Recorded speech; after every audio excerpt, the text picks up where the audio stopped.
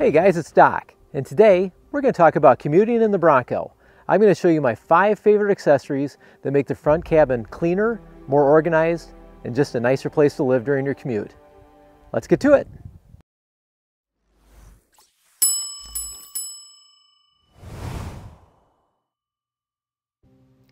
First on the list, and these are in no particular order by the way, is the Bartact front door MOLLE pouch.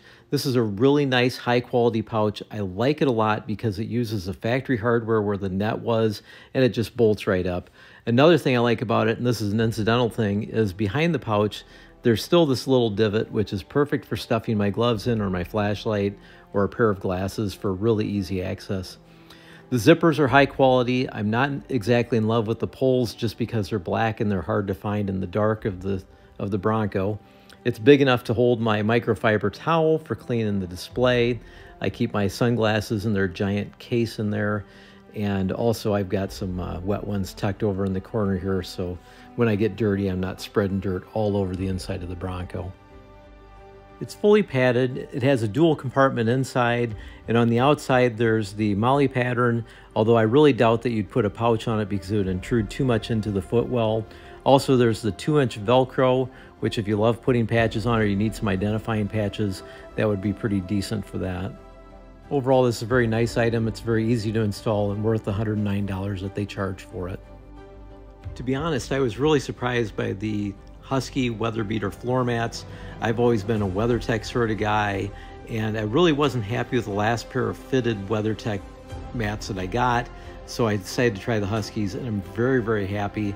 They fit perfectly, they don't move because they're anchored in the back, and they hold a tremendous amount of water. I dumped probably about 10 ounces of water out of it from just moving around in the snow yesterday.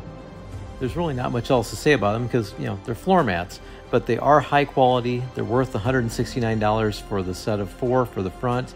And if you want the cargo liner, that's another $110 for the rear cargo area. Some of you may balk at this choice, but this actually has 6,300 positive reviews on Amazon. And it is essentially an elastic pocket organizer that's perfect for throwing, well, your man purse into. It does double duty as being a partial barrier for keeping the dog in the back seat, which is kind of nice. It installs quickly and for 20 bucks, it's actually perfect for just easy access to get to my first aid kit and all my other necessities of life.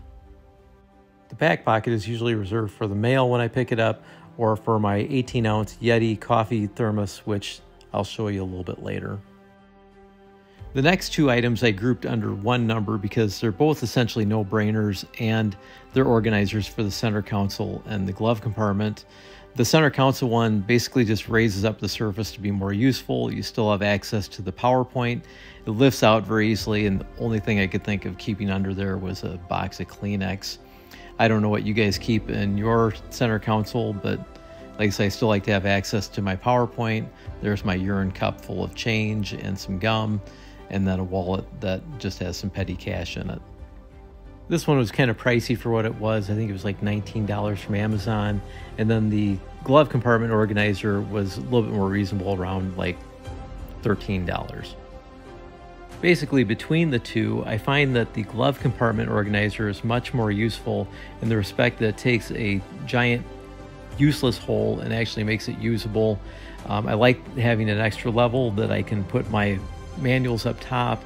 I can put my insurance and registration up there as well, so it's easy to find if you're in an accident or if you get pulled over. And then you have two nice little cubbies down below for just incidentals. Uh, I keep down there some Clorox wipes and some cables, and on the other side, uh, more Kleenex because I guess we have a lot of runny noses in our house.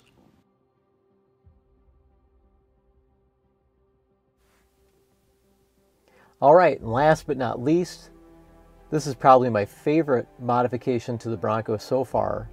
These are the IAG LED accessory lights for the front cabin. I just love it every time I do that because it's literally like sitting in a stadium and having them turn the lights on. The stock dome lights in the Bronco are just truly dismal. Um, adding these lights really helps me be able to find things in the dark in the Bronco and it's really awesome. On top of that, the cost is super reasonable. They will deliver these to your door for $99. There's a fairly extensive um, installation. It takes about two hours. Um, there's a lot of trim that has to be removed. They offer a wonderful instructional video and also a very detailed 42 page instructional manual that you can download. The only advice I would have is if you're putting it in is I would have a headlight source because it gets pretty dark down below when you're trying to get the wiring done and maybe a set of magnifiers just so you can truly pick out the right colored wires because that's kind of important. But overall, this product is a smash hit in my opinion. I hope you like the rest of the products I picked. If you think this video is useful, please hit the like button, hit that subscribe button, and have a great day. We'll see you out on the trail. I did want to throw in a few honorable mentions, and certainly this is something I use every day, which is Yeti 18 ounce. I believe they call it a Rambler, but it's basically a coffee thermos. Keeps my coffee super hot, and it fits perfectly in the cup holders in the Bronco. And the only reason I was introduced to this was because I actually went to the Bronco Rodeo and they gave us each one for a prize. I had never bought Yeti products before, but certainly this has impressed me. Keeps the coffee almost too hot for too long. Um, I continuously seem to burn myself, but I love it for what it is. And for 30 bucks, it's an awesome deal.